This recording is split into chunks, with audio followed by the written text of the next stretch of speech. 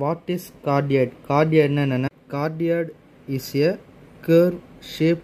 like a heart எக்ஸாக்டாக எப்படி இருக்குன்னா இப்படி தான் இருக்கும்